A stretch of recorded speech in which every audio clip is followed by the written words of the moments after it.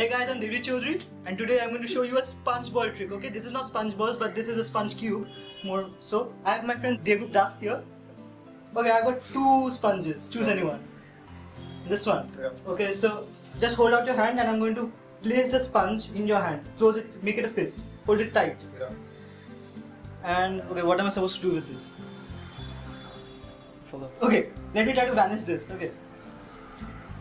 So there's one sponge ball in my hand and one in yours. I'm gonna try to make something like very freaky happen. Are you ready? Just hold Yeah, like yeah. squeeze it, squeeze it. Yeah, squeeze it. Achha. Open your hand. What the fuck? And that's magic. Bencho.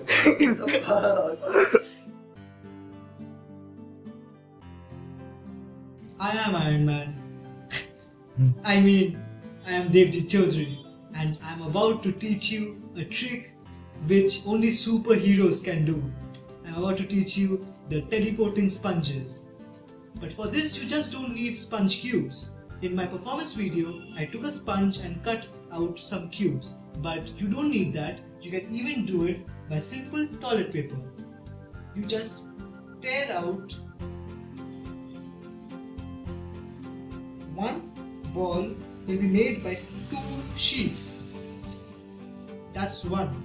For this trick, you will need three. I know you just saw two in the performance, right? But there's an actually third secret hidden ball. This trick is completely impromptu, easy to prepare, and gets great reactions. You can even do it with any small object really.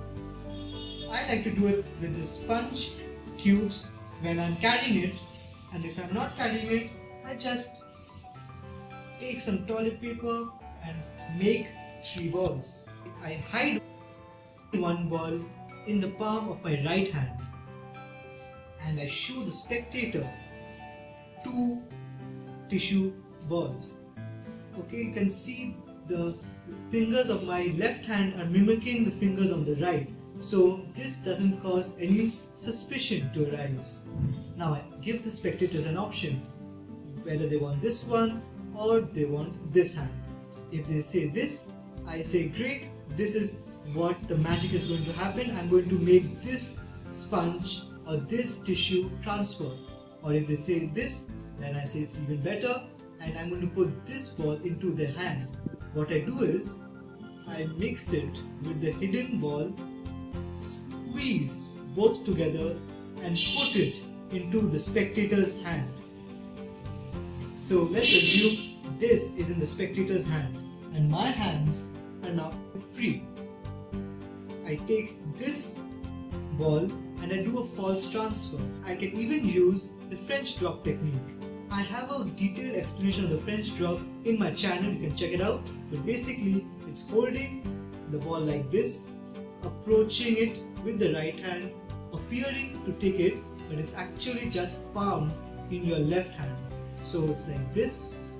The spectator thinks it's this- hand, this hand, the left one drops and you put it into your pocket. And the spectator thinks in this hand, you just snap, you show it has vanished, and miraculously it appears into the spectator's hand.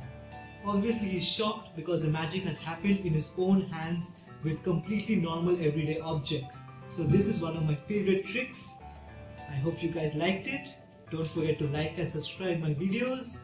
And if you want to be a partner at my YouTube network ProLife, where we give magicians a chance to earn from their videos, you can just apply the link below. Thank you. This is Debjit Chaudhuri signing out.